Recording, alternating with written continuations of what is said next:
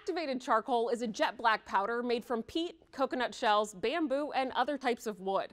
It can be found in a range of products, from food and detox drinks to teeth whitening and skincare products.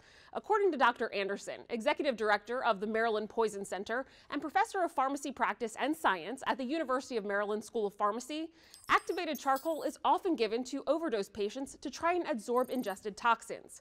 Adsorption happens when one material, like activated charcoal, sticks to the surface of another. It's a different process than absorption, which means two materials chemically combine. But does it work the same way for injections like the vaccines?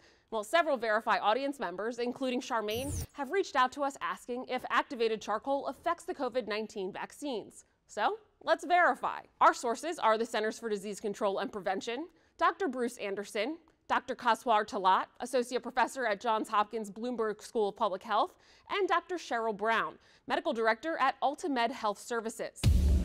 Since activated charcoal is ingested orally and the vaccine is injected into your arm, doctors Brown and Talaat agree. There isn't concern that they will come into contact. So it's going down into your intestines, the activated charcoal. The vaccine actually goes into your arm and it goes into your into your bloodstream uh, so that you can make a, a, response, an antibody response in your in your bloodstream. So the activated charcoal shouldn't uh, interact with that.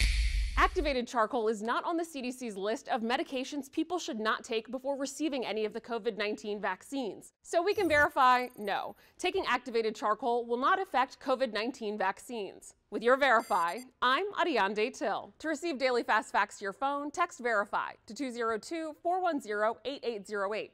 And to sign up for our newsletter, visit verifythis.com slash email.